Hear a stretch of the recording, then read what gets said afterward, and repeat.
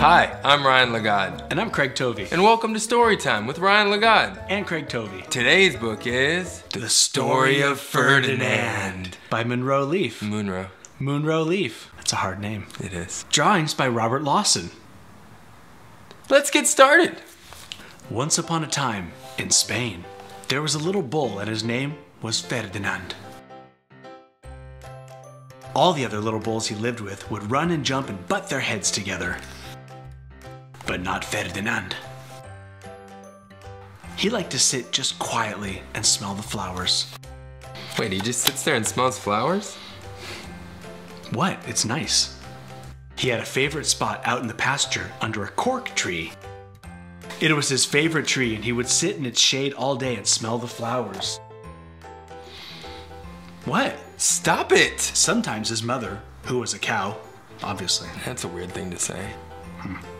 would worry about him. She was afraid he would be lonesome all by himself.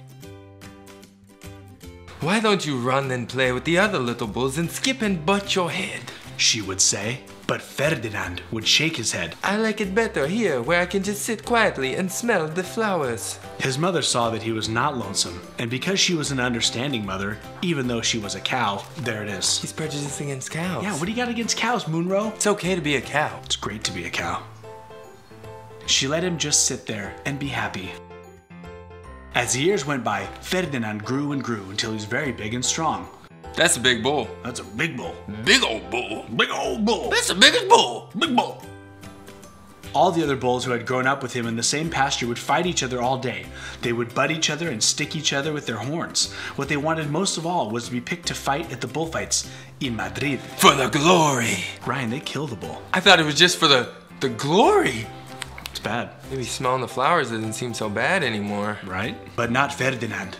He still liked to sit just quietly under the cork tree and smell the flowers. One day, five men came in very funny hats to pick the biggest, fastest, roughest bull to fight in the bullfights in Madrid.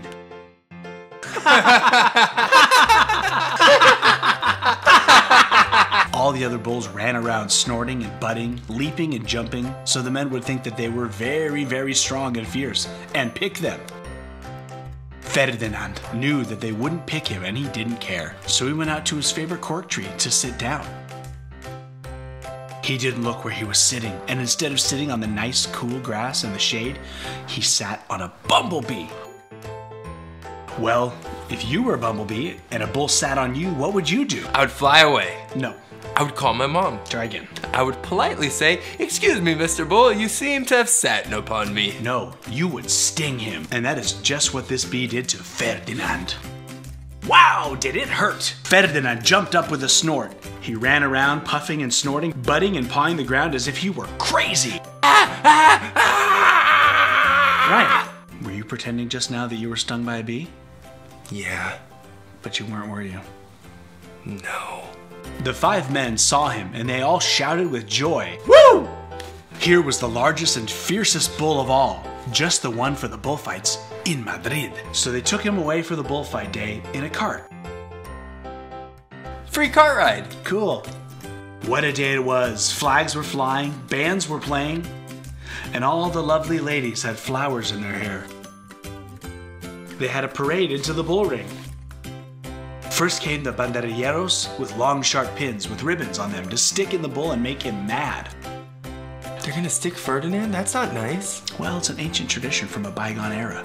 Next came the picadores, who rode skinny horses, and they had long spears to stick in the bull and make him madder. Why are they doing that to him? It's a brutal culture from another time. Then came the matador, the proudest of all. He thought he was very handsome and bowed to the ladies. He had a red cape and a sword and was supposed to stick the bull last of all. They're gonna kill him for entertainment? Ryan, they didn't have TV. Then came the bull, and you know who that was, don't you?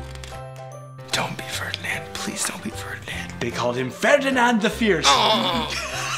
Your face. and all the banderilleros were afraid of him, and the picadores were afraid of him, and the matador was scared stiff. Ferdinand ran to the middle of the ring, and everyone shouted and clapped because they thought he was going to fight fiercely and butt and snort and stick his horns around. But not Ferdinand. When he got to the middle of the ring, he saw the flowers and all the lovely lady's hair, and he just sat down quietly and smelled. Now I'm starting to get it. I still don't want to smell them. Okay. He wouldn't fight and be fierce no matter what they did. He just sat and smelled. And the banderilleros were mad. And the picadores were madder. And the matador was so mad he cried because he couldn't show off with his cape and sword. I don't feel bad for him at all. Not a bit. So they had to take Ferdinand home. Another free car ride. Bonus. And for all I know, he is sitting there still under his favorite cork tree, smelling the flowers just quietly. He is very happy. The end. Craig, Yeah? you can smell the flowers. Really? Yep. I'm very happy. The, story of Ferdinand. By Munro Leaf. Drawings by Robert Lawson. Well, thanks for watching Storytime with Ryan Lagod. And Craig Tovey. We'll see you next time. Oh, oh my god! Oh, that was awesome! We did it! Yeah! Hey guys, if you want to see the next video in our series, go ahead and click the link right here. If you want to get email updates and see when our next video is coming out, click the subscribe button. So if you subscribe or if you click the next video, you'll be helping us build an audience for what we love to do, which is read books to you.